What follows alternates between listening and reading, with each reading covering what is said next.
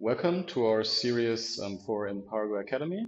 Um, in this video, we want to start off by explaining the three apps or modules that your CargoApps consist of, also how they play along with each other and how the typical process um, with our software would be.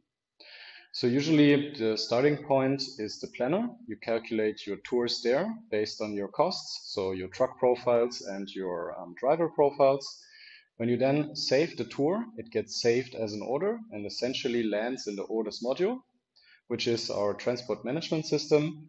From there, you can modify or view it or um, have a history of all your driven orders and of course export or import.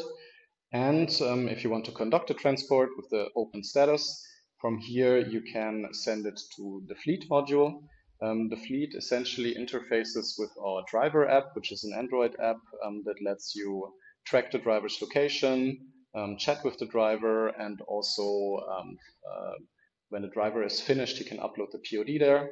And you have a data um, backwrite to the orders module. So essentially, you have it all in one place there. And when the status of your orders change, for example, to delivered, then uh, the status in your orders module also gets updated and you have the proof of delivery digitally in place here.